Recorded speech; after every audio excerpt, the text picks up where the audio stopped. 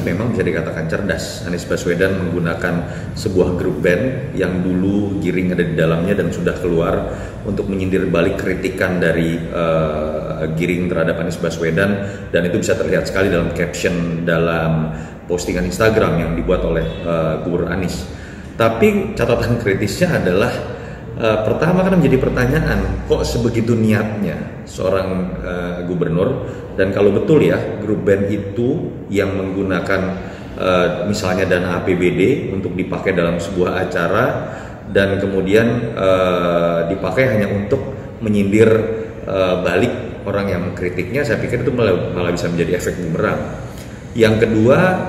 sebetulnya catatan kritis juga buat apa seorang Anies Baswedan disebut namanya bisa menjadi capres uh, gubernur DKI kemudian terbawa oleh narasi yang dibuat dan kritikan yang dilakukan oleh seorang ketua umum partai satu koma bahkan tidak mencapai dua persen akhirnya Anies Baswedan seperti uh, menurunkan kapasitas kompetisinya